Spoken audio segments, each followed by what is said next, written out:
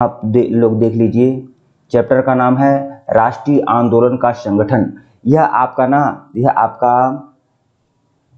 ये भी आपका आपका ये आप लोग देख लीजिएगा किस क्लास यह आपका इतिहास का चैप्टर है। इतिहास का चैप्टर है लेकिन किस क्लास का है ये आप लोग को देखना होगा। शायद ट्वेल्व का ही चैप्टर है या फिर क्या है? राष्ट्रीय आंदोलन का संगठन 1870 के दशक से उन्नीस तक।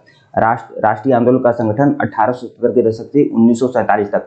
अगर आपको नहीं मिलेगा किस क्लास का चैप्टर है, किस क्लास का है तो आप लोग मुझे कमेंट करिए, आप मुझे व्हाट्सएप पर मैसेज करिएगा, मैं आपको बता दूँगा, ठीक है? और इसका भी मैं टेलीग्राम पर डाल दे रहा हूँ टेलीग्राम पर मैं इसका डाल दे रहा हूँ, इसका भी वीडियो आप लोग देख सकता है कि इसमें था कि स्वराज पार्टी किस विधान परिषद में बहिष्कार का विरोधी कौन था? तो स्वराज पार्टी ने विधान परिषद में बहिष्कार का विरोध किया था। कि मतलब कि गांधी जी कहते थे या गांधी जी के जो अनुयायी लोग कहते थे कि विधान परिषद का बहिष्कार होना चाहिए। लेकिन स्वराज पार्टी, विशेषकर स्वराज पार्टी में चित्तरंजन दास और मोतीलाल नेहरू का यह कहना था कि विधान परिषद का बहिष्कार नहीं होना चाहिए। विधान परिषद में रहकर ही सरकार का विरोध किया जा सकता है। तो पेज नंबर ग्यारह में यह बातें हैं आपकी। पेज नंबर, इसमें पेज नंबर पता ही नहीं चल रहा है। पेज नंबर ग्यारह में है ये। ठीक है? यहाँ आप देखिए। हाँ ये आप देखिए पेज नंबर ग्यारह पेज नंबर ग्यारह का यह आपका है। यहाँ पर देखिए, उन्नीस सौ इक्कीस बाईस। जितने भी लोग, देखिए, इसमें क्या है? जितने भी लोग यह किए हैं, उपयुक्त में से दोनों, वही सही है। उपयुक्त में से दो, वही ऑप्शन सही है, क्योंकि इसमें चित्रंजन दास और मोतीलाल नेहरू दोनों हैं, और आयोग ने सिर्फ़ चित्रंजन दास को माना है। तो जो भी लोग किए हैं उपयुक्त में से दो, वही, वह सही है। 1921-22 के दौरान अशोक आंदोलन को गति मिली। हज़ारों विद्यार्थियों ने सरकारी स्कूल, कॉलेज छोड़ दिए। मोतीलाल नेहरू, चित्रंजन दास इसी राजगोपालाचारी और आसफ अली जैसे बहुत सारे वकीलों ने वकालत छोड़ दी। अंग्रेज़ों द्वारा दी गई उपाधियों को वापस लौटा दिया।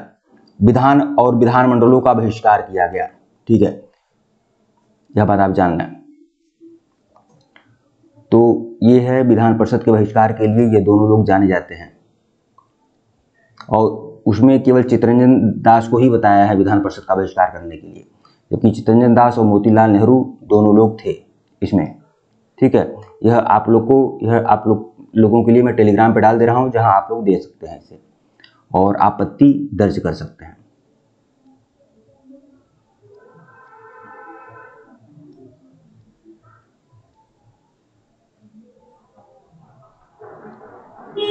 देखिए, यहाँ पर पर्याप्त नहीं था, इतना कहना तो यहाँ पर देख लीजिए, यहाँ पर देखिए।